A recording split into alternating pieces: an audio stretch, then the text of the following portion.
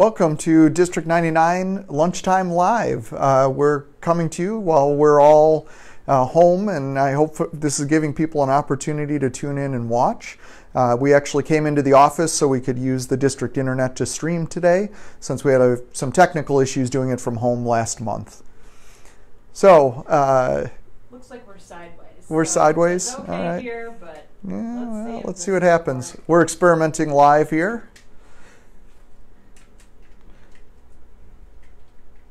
Let's try that. All right.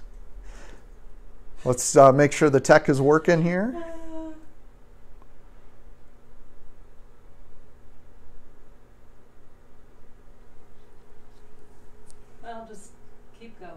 okay, it, this is the wonder wonder of uh, live production. So, uh, what we're going to talk about today, uh, whether you're watching me sideways or the right way, is uh, we're going to talk about how remote learning is working and that it's going to continue moving forward. Talk about plans for the class of 2020. Uh, I'll provide you a little bit of update about the board and the work we've been doing there, uh, including the master facility plan and then uh, just some updates about positive things going on in the district.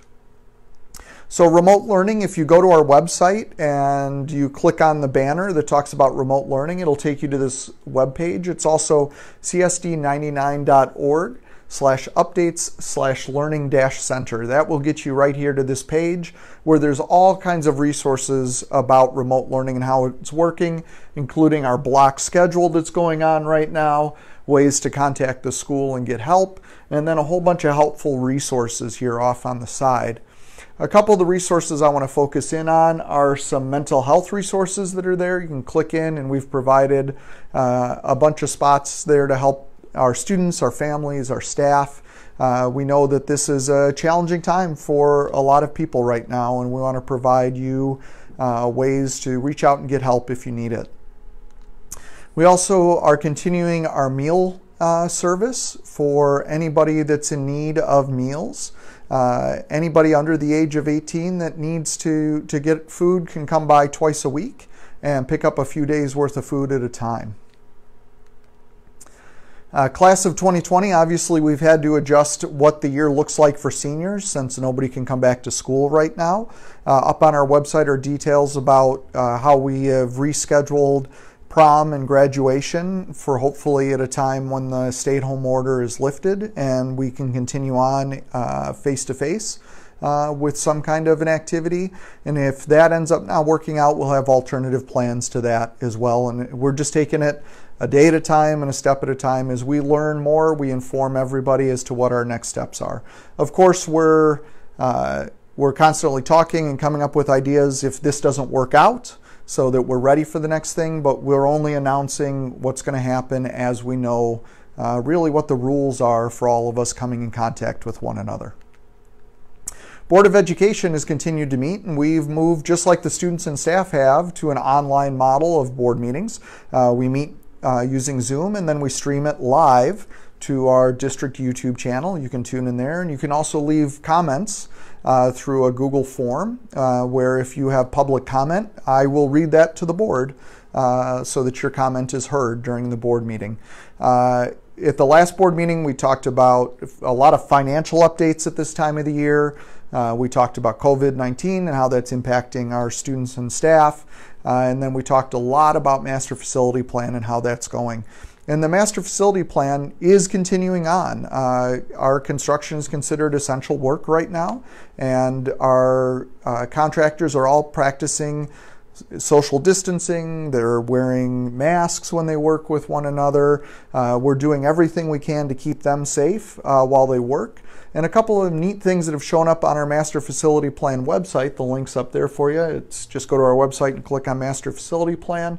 Um, but we've started adding some of our weekly updates that come from the actual uh, from Wight, the the construction company. Uh, there's some cool links in there that include some 360 degree video of the construction underway, and it's a great way because you really can't get into those spaces now and see what's going on. Uh, that you could participate virtually. Uh, one of the things that we're trying to emphasize is ways to stay positive, and we're doing some great things in our community. Uh, several of our students and staff members have been working for the past month to create face shields for uh, the frontline healthcare providers, and we've distributed over 5,000 of these face shields in the last month. And there was a fundraiser, the community helped uh, cover the costs of these and uh, we've just been rolling them out uh, since this has been going on. So it's it, it's pretty amazing to see them out in action, being used. Somebody sent us a picture of one in open heart surgery. I mean, it's just impressive to see the impact that this is having. Uh, once that fundraiser fundraising campaign ended, we started another one to help out families in need in the community. Uh, we know that there's uh, a lot of challenges going on now, and especially uh, families that are having trouble with food. So we're trying to close some of those gaps and, and help get funds to people that need them for basic necessities. Uh, if you can help out, go to d99ef.org. That's the Education Foundation who we're partnering with on this. Um, if you know of somebody in the community that needs food, reach out to us. We will help connect them uh, to those resources. Uh, once you get to that website, you'll see there's a form you can fill out. Either you can do as an individual or if your company wants to donate, you can do that as well. Um, and we are working on processes to get funds out to people that need it or gift cards out to people that need it. Uh, if you have a way that you want to help out, please reach out to us and let us know. So at this point, uh, we always turn it over to any questions that we have in the audience, and it takes a few seconds sometimes for them to come in. Daniel wants to know when final transcripts will be available for seniors in order to forward to college for the fall. It'll work just like it does every year. So the last day for seniors will be um, will be May 15th. And then the next week we process all of the grades, and then it takes about a week or two after that for final transcript, transcripts to be published and out. But nothing will change in the timelines that have happened uh, in the past.